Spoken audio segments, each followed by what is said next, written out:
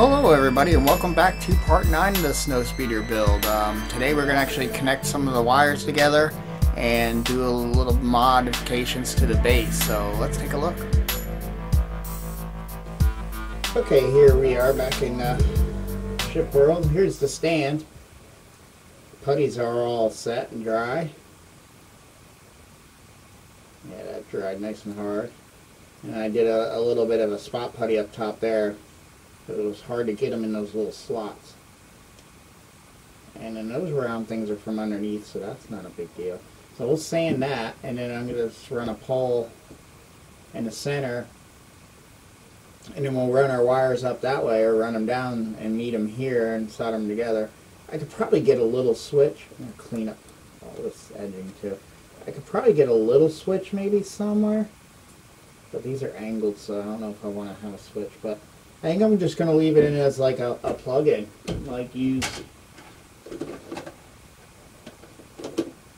one of these that I got with pigtails.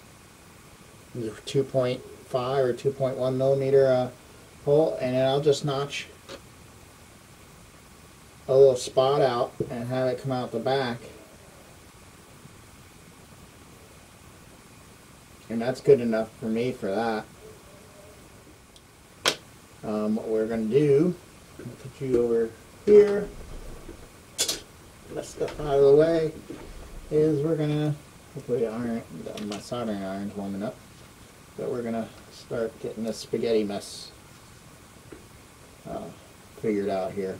And the first things we got to do is put some, uh, just to make life easier, solder on some uh, little ends from the resistors. What did I cut resistors off of? Oh, for I think no, these have their own. I don't remember, but from some component I cut a little resistors off for for something. Oh, probably for these guys. Yeah. And I always save the little resistor metal ends that you, you know, because you can on these little ones you can just solder them on. It's basically what they did on the side that has the resistor. They soldered a resistor on and just left this end out, and it gives you something, a soft metal to, instead of this tiny little wire that they give you here.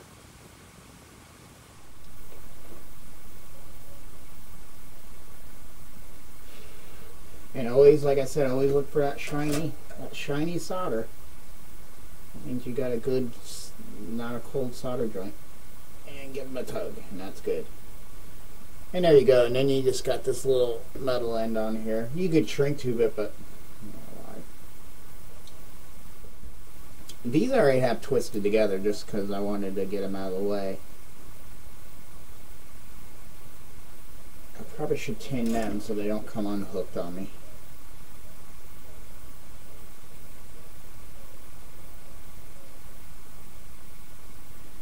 And also the uh, the tinning of them will get the paint that I did get, a little bit of paint I did get on the bare wire. I mean, I could strip them and start over, but it's not that crucial. There we go. I don't think I have to be overly crucial about what happens in here as far as the wiring. I was going to do like all this taping and stuff. I don't even think I'm going to do that. There's plenty of room in here for this stuff to float. So what we'll do is we'll take these two positives. I might do a little bit of taping down or something. I don't know. I don't think I have to though. I'll take these two. Give them a twist.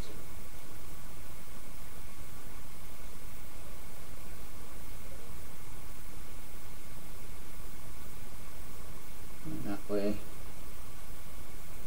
Come up here.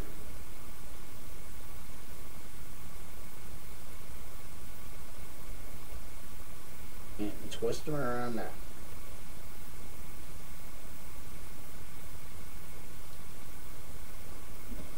Might as well um, set up. And we'll solder that.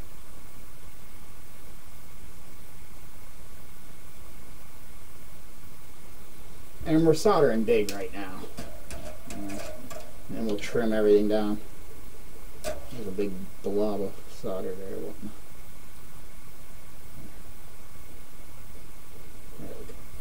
There. And then we'll do the same with our negatives. Oh, you're way under there. I'll take these two and we'll do the same. We'll just twist them together. We can get one separate. There we go. Ain't much to grab on there.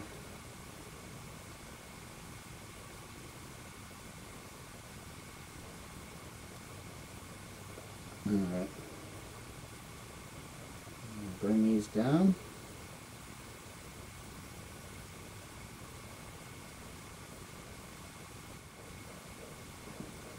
Let's get that soldered.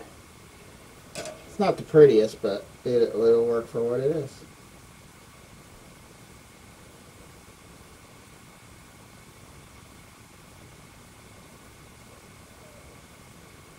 I'm afraid of is I just unhooked. I got down into the. Yeah, oh, now it's still hot. Yep, I did. Then I, yep, I unhooked one of these.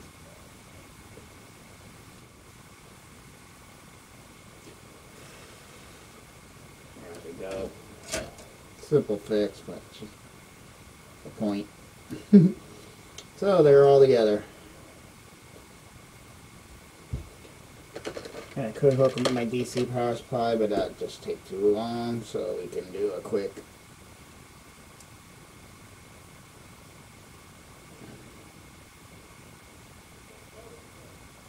Actually, we're gonna have to turn off the lights so we can see the things are working. I see lights in there. I see those flashing. And I see those flickering. I don't know if you can. It was. Yeah. So all that's working then. Good to go. So at least we got that ready for the bottom.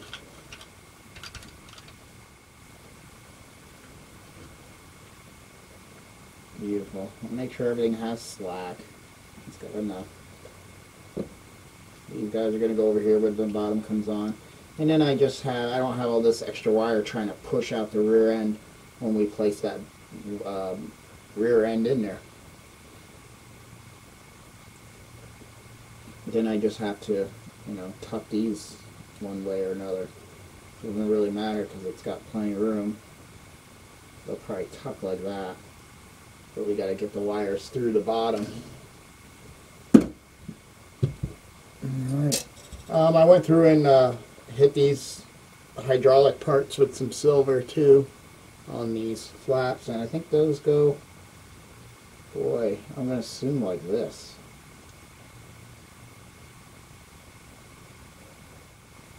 flaps where are they going on they're being put together and they got to go in before you put the base on so it's got to be the next page alright so the longer parts these you know, the notches are on the outside. So they will look like that. Which I thought so. It goes with the shape of it. And how the other has a flap. So that's that's that. That's easy. Thing is is making that line up because I didn't know that had a its thing there.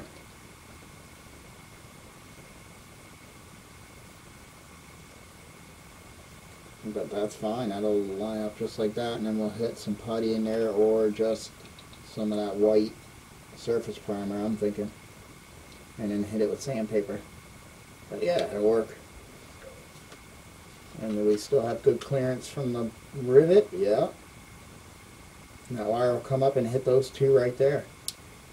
And the, the rear end only goes into those parts, so there's, yeah, there's plenty of cavity in there It's great. So, good to GO. So, hmm, it's getting so close when it gets to these points, it's like, okay, what do we do next? And really, it's pretty much running the wire through, soldering it, and gluing that.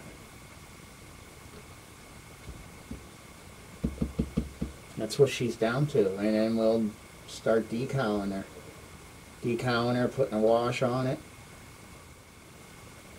They just show them going down in there, but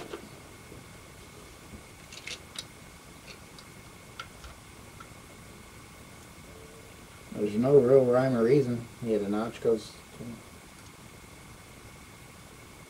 what they're doing. I guess they just, and I guess they have the ability to go back and forth. They do. And maybe they sit back like that. I think they do. That's the whole point. They sit back in there. So I actually have to paint all this white too. Oy vey. But we'll do that once we get the bottom on. Yeah, that all has to get painted white. Because uh, once that hits. So just that edge. Which isn't bad.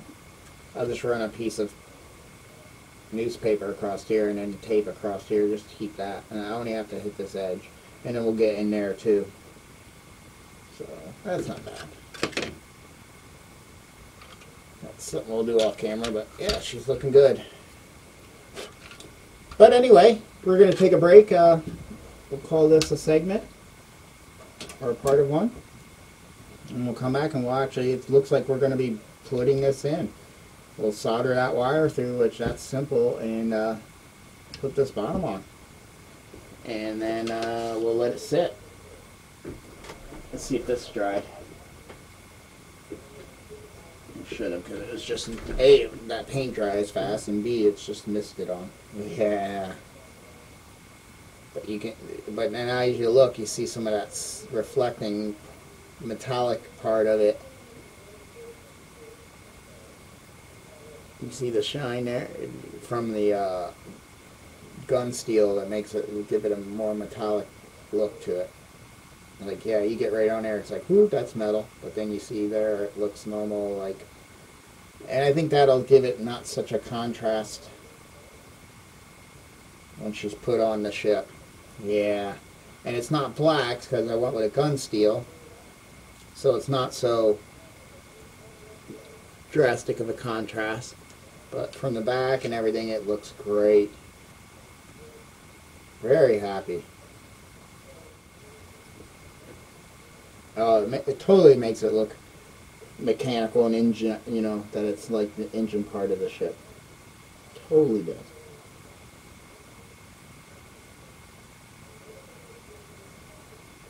But yeah, it has the characteristics of the film where it's not just a solid black piece back there. Beautiful. Love it. All right, like I said again, I'm rambling, so please forgive me. Um, but we'll be back. Well, I figured I would show you how uh, these step drills work, and uh,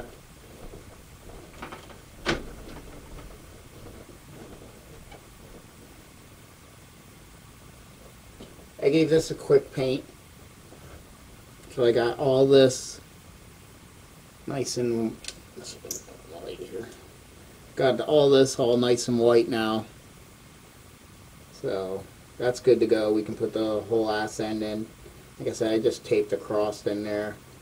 Got enough white in there. I think that once these levers are in there, it's fine.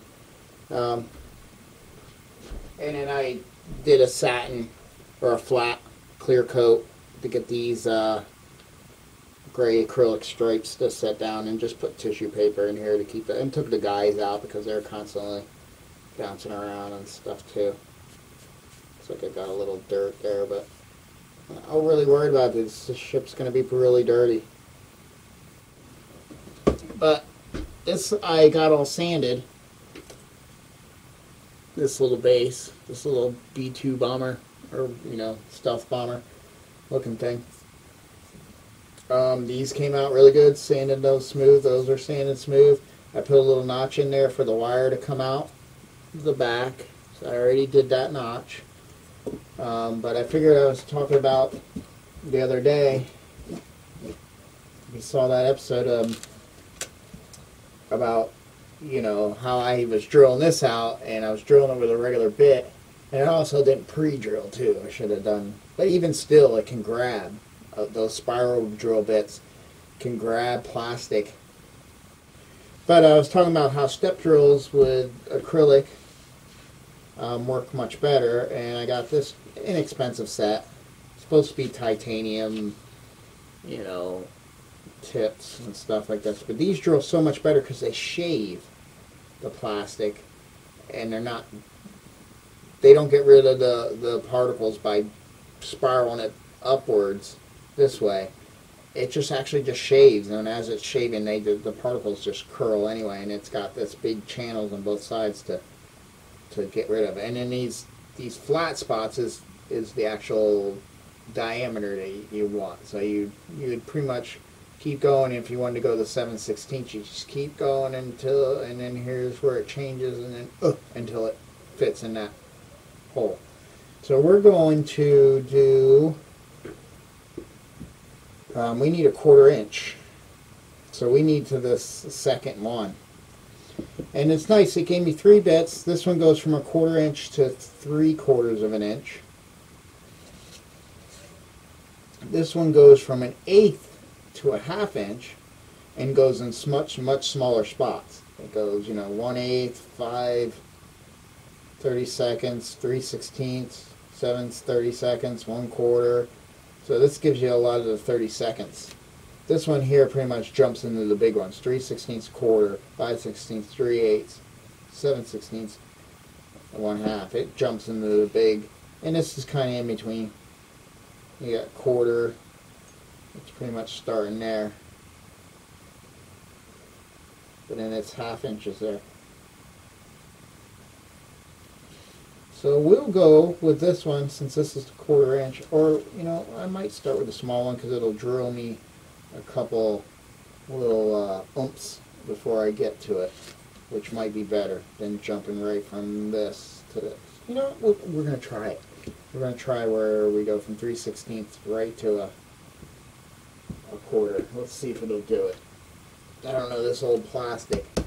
Let's see. So you just chuck them in your drill just like a normal drill bit. but They're so much nicer. They're great if you already have a hole size and you need to go up. They're great for that as well.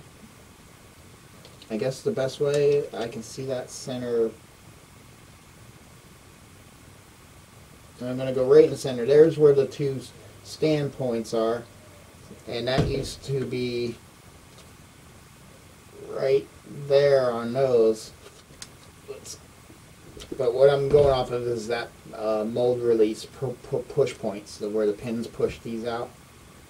That That's pretty much in the center of these two spots. But probably is about center of that where I want everything to line up. So if I kind of go off of that, and this is a very brittle plastic, so I already heard it try to crack. So we're going to go with the smaller steps because I can see it's going to be brittle and it's going to want to, instead of drill nice, it's going to want to pop, pop, pop. So we're going up to there. And it looks like that quarter is so much smaller than that quarter. But it's not. It's just the... It doesn't have as much of a ridge.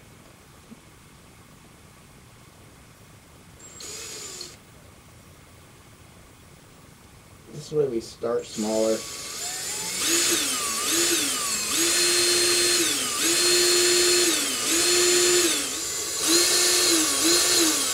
But it's going, once I started and I don't need to use that pressure down to drill through it, it's going to the next. And you feel it pop. And then you can pull out. But see how much better, even with that brittle That real brittle plastic. Like if I was to use a regular drill, that would have been destroyed. Now there's one way to find out if the pipe's going to go through. Oh, like a glove. Nice and tight. That's what I want. Oh, yeah.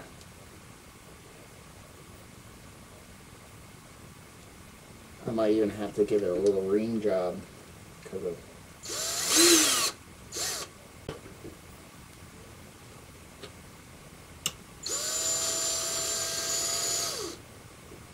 because of the plastic heat not been curling.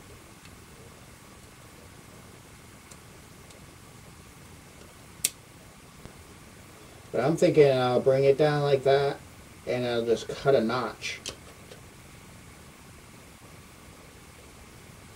there so the wires can come out and then get soldered underneath here. All nice and tight. Just have wires come down and just meet right there. And then that's that. And that will sit like that. And I just got to thread I'll clean this end up and then thread it. But that'll work great it's a great height. It'll be a hair lower because it's going to thread in, you know, almost a half inch. That works great. We'll crazy glue it in there and then I'll probably take some like, it's almost like I want to take some putty and put it around to give structure. Because once that putty gets dried on there, it really, and then glue it. And I think that's what I'll do. I don't even have to add baking soda because baking soda works as a kicker as well with the CA glue. But hey, that worked great. That was these were like six bucks for the three, you know, and it came in this you know little carrying bag. It's not nothing special, but still at least it keeps them all together. All right, so now I can go and paint this up here a little bit. I like to keep my area. It's my OCD, I guess. Um, but I did hear a couple cracks. I see them, so I'm going to hit them with some thin, extra thin CA glue. Just to make sure. You can actually even hit the hole with it a little bit. A little melt down the burrs. I pretty much scuffed the whole plastic to give it a good tooth for the paint, and then that's going to get hit with the pearl white that I had left over from the Enterprise refit. But I figured I'd show you that real quick. Um, and when we, like I said, when we come back, we'll I like to get all this ready when we come back when I see you again, we will run a wire through here to glue to those other wires for our feeder wire to go down this. And, uh, but we can leave, leave let it hang. We don't have to put on on this right away. But that's going to be great. That's going to be great. I'm really happy with that. Especially a simple little stand there I had. It wasn't ugly the, the X-wing comes with this weird explosion thing, which I might not use. I might use just the base. Yeah, I'm just going to hit this and let this dry, and we'll be back for our next stage, which will be getting this bottom together, which means, again, we have to run a wire through here and solder it, and we can glue and clamp that. And these go will go on, and these and that's got to go on, and this will be put on as well. So, and then she'll be completely together we just we just got to work on the stand and I have a little sign here that we'll make up. We'll use. I think it's pretty neat if we use as much as we can from it since it's old school. You know, I could always get a bigger or different version of this. Newer version. I think they released a new version. I'm not even sure. MPC, I think. Or, uh, no, this is MPC. Uh, Revell might have, or maybe they do have a new version of this from MPC. But again, thanks for watching, and I'll see you soon.